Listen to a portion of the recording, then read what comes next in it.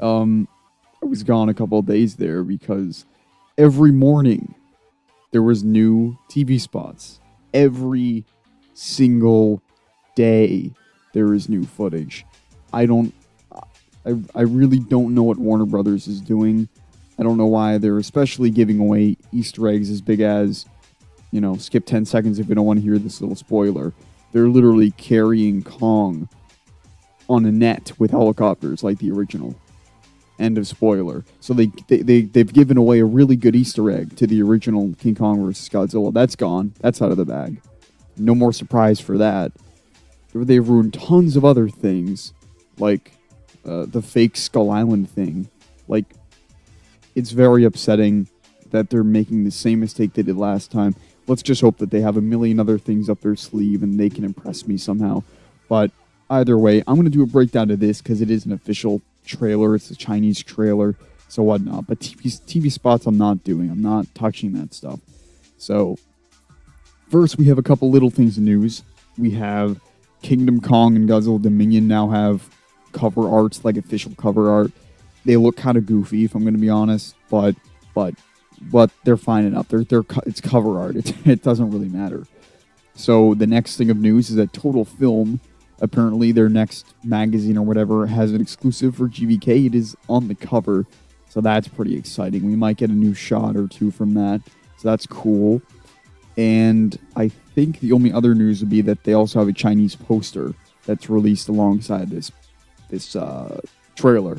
The poster is nice. It's really high quality. You can get a nice image of this. It's it's a wallpaper for sure. Um, definitely got some Kong Skull Island vibes. I really like it. It's kind of just Godzilla and Kong fighting, you know, in the water, but also the cities in the background. It's kind of just like a perfect poster for everything. So I'm a big fan of it. It looks great. I think they scaled up Godzilla's head to make him look more normal. Either way, I think it looks great.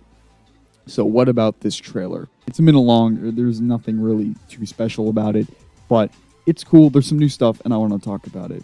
So we start off, and Kong is on the island, and he's yawning, which is a great shot. He looks like Mighty Joe Young there.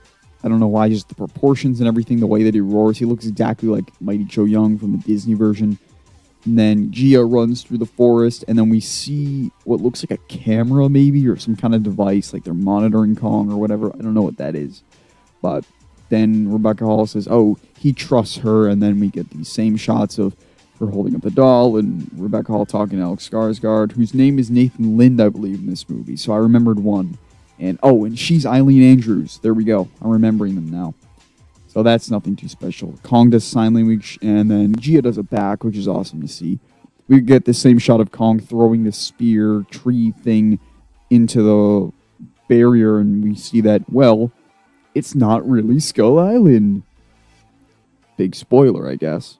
And I want to point out that because the music is gonna be throughout the trailer, I'm just gonna say it now. The music is really cool. It's it has this like King of the Monsters like oh kind of vibe to it. So I'm really digging that.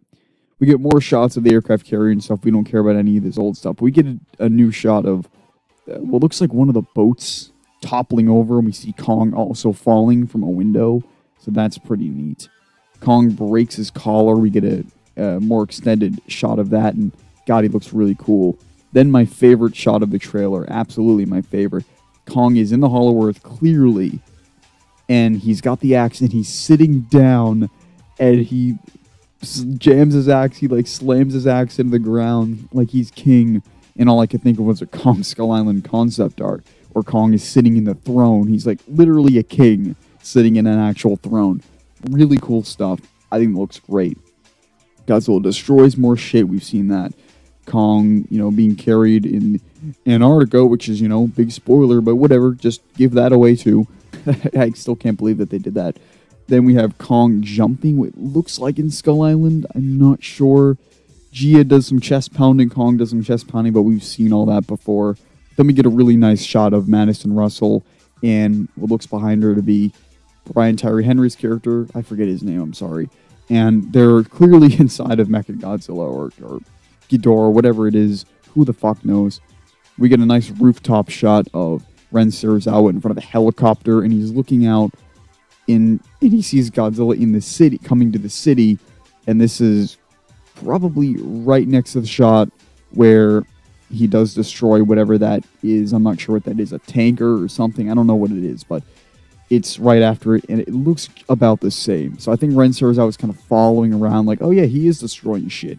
Good. He's doing what we want. It's a really nice shot. I think the perspective of it is great, and we have this really nice. Um, God, we have this like perfect kind of music going right along with it, and I love how this kind of goes right back to Serizawa when Godzilla was coming out of the water. It's so perfect. It's just like, you know, Serizawa hates Godzilla again, just like in the old movie or whatever. So that's pretty cool. Then we get more explosions, and then we get this shot that I was incorrect about. And I'm here to admit I was incorrect about it. So it's the shot where we're inside the building and we see Godzilla and Kong from that perspective. And Godzilla is, in fact, attacking Kong. He bites Kong right in the shoulder and surprises the shit out of him. I think it looks really cool. Might have been edited for the trailer, but damn, that's a fast bite. Then we have Madison Russell and oh my god, Brian Terry Henry and Julian Dennison. I don't know their names, but they're jumping, exciting, excited, celebrating something. Who knows what it is? Maybe Godzilla will be Mecha Godzilla. Who the fuck knows? Then we see Kong jumping. It's a sh- perspective shot from inside one of the, probably the main ship that they're in in the aircraft carrier scene. Which, by the way, Junkie XL confirmed that's 18 minutes long. That's eight. That's an 18 minute long scene. That's incredible. Then we have the shot of Godzilla getting pushed off a boat. But then we have some new stuff. This is cool. It's more extended. We see Kong on the ground, backing up Godzilla, stepping on him. Kong trying to move his foot off, and Godzilla just roaring in his face. And that's the trailer. That's it. It's pretty exciting.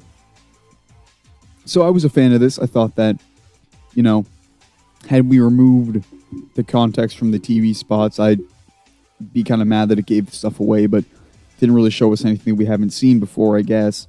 Kong sitting in his Hollow Earth layer is just absolutely amazing.